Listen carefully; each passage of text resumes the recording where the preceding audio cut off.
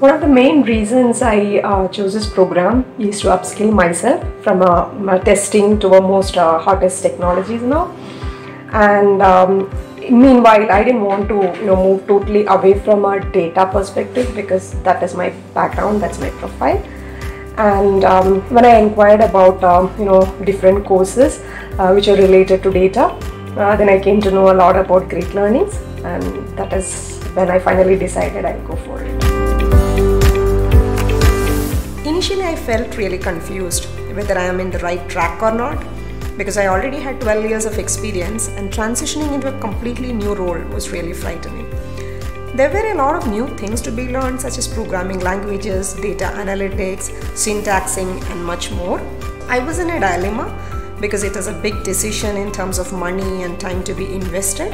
But what motivated me to take up the program with Great Learning was the great reviews it had.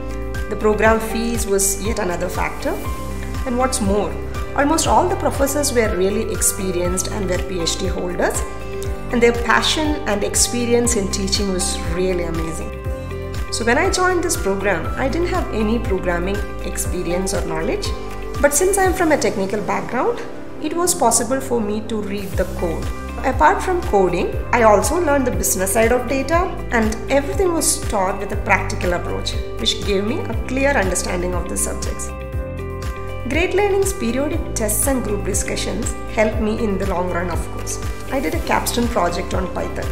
Our mentors were excellent, and though we had focused largely on R during our initial learning, we were able to get a grasp on Python as well after we completed our capstone.